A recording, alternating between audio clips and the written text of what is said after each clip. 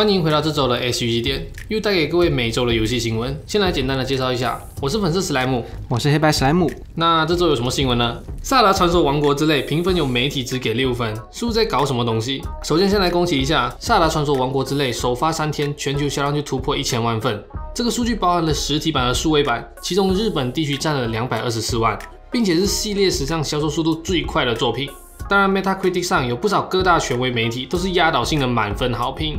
不过，因为其中一家游戏媒体只给他打了六分，但是这点就让网友舆论直接爆炸。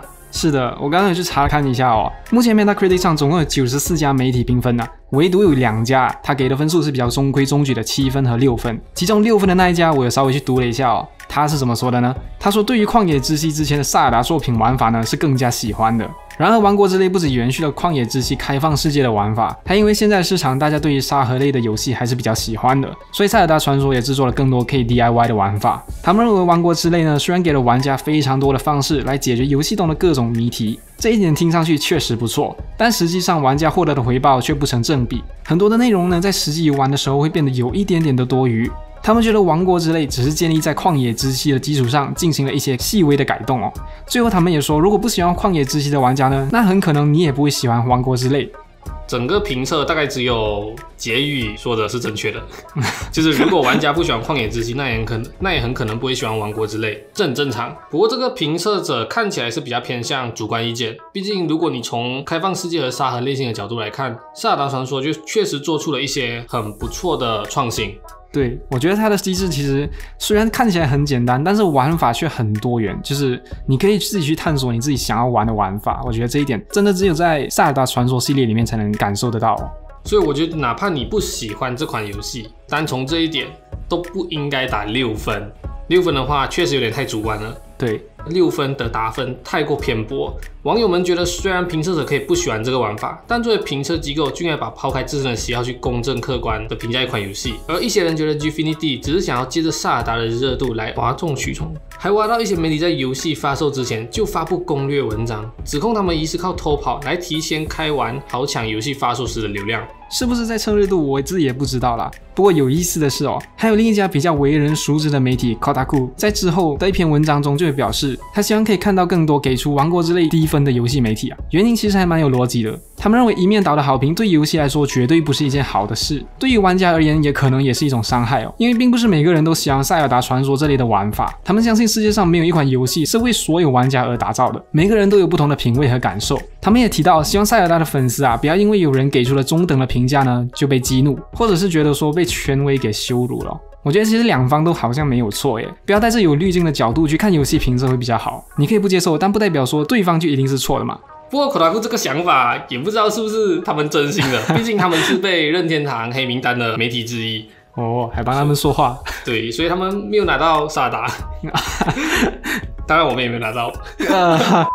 不过也因为王国之泪跟旷野之息的差别不太大，所以其实有玩过旷野之息的人早就知道王国之泪到底适不适合自己了。这一点我倒觉得还好，没什么差。毕竟他们的差别也的确不太大。我自己身为一个没有玩过塞尔达传说系列的一个玩家哦，其实当我在第一次看到王国之泪的介绍影片的时候，其实我是非常震撼的。我就说他的那种玩法，我是在市场上完全没有看过的。他这代的玩法的确非常有创意，从游戏发售到现在一个星期，一堆玩家各种脑洞大开的影片，其实就可以看得出。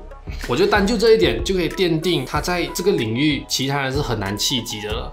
所以你说这是一个六分游戏，不管从哪看都不太可能。我觉得这个分数应该就是很主观的一个分数了吧？的确，这是非常主观的分数，甚至没有考虑到这个游戏对于整个游戏行业来说。它有什么样的影响？对它有什么样的影响？甚至它的定位在哪？不管怎样，从 Metacritic 这种收集各大媒体的平均分来看，目前还是比较稳妥的。嗯，对。总之，它还是一款很好玩的游戏啊，我觉得。大概是本世代最好玩吧。说本世代可能太夸张了，大概是今年最好玩吧。今年最好玩的。对，大概是今年最好玩。好，我们 TGA 上见。好，那下一则新闻。下一则新闻。Konami 怒告赛马娘，游戏恐面临关服。哦。最近 Konami 动作频出啊，其中对 CY Games 提出告诉，指出旗下的游戏《赛马娘》侵犯了他们的专利权，要求赛 Game 赔偿并关闭游戏。Konami 也表示自己曾与赛 Game 一直在接洽，并希望能够找到解决的办法，但事与愿违。目前 Konami 已经向日本东京地方法院提出诉讼，这里我给大家补充一下，Konami 指出 Side Games 侵犯了它其中一项版权是哪一项？虽然只是网友的猜测，但很可能是赛马娘里面最主要的育成玩法，因为它和 Konami 旗下的实况野球系列的成功模式非常类似。而 Konami 所注册过的专利里面呢，也同样找得到这项专利了。由于这项专利呢，要到二零三三年，也就是十年过后才过期。但是近期 Side Games 也正在注册一些技术类的专利，这才导致 Konami 下定决心去提高他们。这个事情确实在赛马娘刚推出时，很多人把他们的玩法和实况野球做对比。所以当时就已经引起讨论了，这个我还有印象。游戏刚推出的时候，确实有这件事情啊，对，有这一系列的事情。然后 Konami 是要求四十亿日元的赔偿，外加赛马娘必须停运。除了赛 Games 的摇钱树被砍，这个 IP 也会直接爆死。哇，直接停运，而且还要四十亿日元，感觉有一点点的夸张啊。目前赛 Games 的回应是，他们认为游戏并没有侵犯 Konami 的专利权，他们决定透过司法程序来处理这些案子，同时也向玩家保证游戏将会持续运营下去，不会有任何的改变。但是会不会到后面就被突然被判说呃侵犯了版权，然后就突然被停服啊？这个结果还真不好说哎，我觉得非常有这个可能哎，毕竟当时赛马娘就有人在讨论，他们的确和实况野球的游戏模式非常相似。目前网友看起来还是比较倾向于赛 Games 这边，不过就事论事，真的不知道这结果会怎么样。对，如果赛 Games 真的是因为侵犯专利而被判的话，那我们也没没什么好说了，对吧？但司法公正嘛。但我是觉得赛马娘被关闭。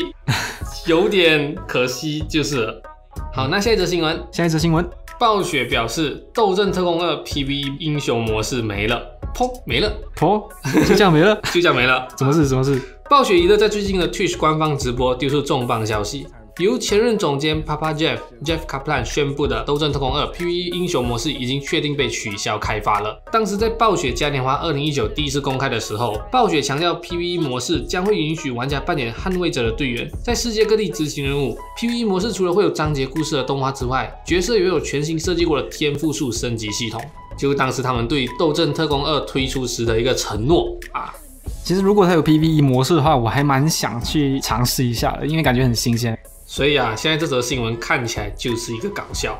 当时《偷真特工二》会推出，就是在全力以这个 PVE 作为卖点才推出的。毕竟一代跟二代其实 PVP 方面差不了多少，就是从六人变成五人，然后多出了一些新英雄、新地图、新模式，大概这样。所以啊，现在取消的理由是制作人坦诚，现阶段他们无法实现二零一九年所立下的愿景，把这些内容打磨到足以成为暴雪品质的程度，将会耗费他们很大的心力，因此做出了艰难的决定。唉。其实想想也是理所当然，毕竟目前暴雪应该有三十几个角色吧，三十几个角色都要设计天赋树的升级系统，那不是一件简单的事哦，不是一朝一夕的事情哦。对，不是一件简单的事。他们是觉得以这样的工作量，他们看不到结束的头，还会要制作多久？开发成本太高了，是吧？对，开发成本太高了，好可惜哦。不过，官方仍然打算继续推出有 PV 元素的合作游戏模式，作为未来更新的一部分。到时候就得看一看会怎么样。嗯，好，那下一则新闻，下一则新闻，Steam 免费试玩九十分钟功能，Steam 更新了一下新功能，可以让玩家免费试玩游戏九十分钟。Steam 在前几天突然开启了一下免费的试玩功能啊，和以往的试玩版或是两小时退款大法不同。玩家可以直接下载游戏，并在九十分钟以内尽情游玩完整版的游戏内容。不过目前只有 EA 的恐怖生存游戏《绝命异次元》重置版可以试玩，这功能挺好的，比起以前的两小时退款。而且两小时退款，严格来讲，它也不是一个试玩的作用，只是大部分人滥用了这个机制，把它当做退款来使用就是。对，所以现在他们正式推出一个试玩的功能，其实还挺好的。我记得印象中，这个功能会需要透过和游戏的开发商去沟通才能实现，也就是说会多一份程序哦。对，这个是必须游戏厂商也点头说他们希望有这个九十分钟的试玩功能，就同意过才可能会开放这种功能。没错。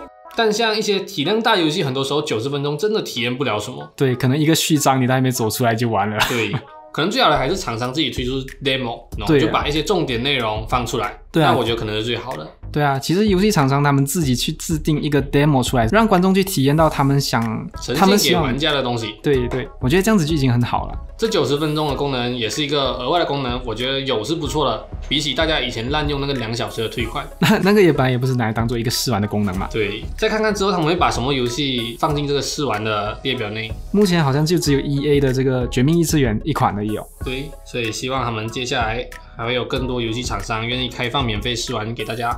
嗯，又或者是推出更多 demo 了。那本周的 H 一点就到这边，我是粉色史莱姆，我是黑白史莱姆，我们下次再见。下一期再见。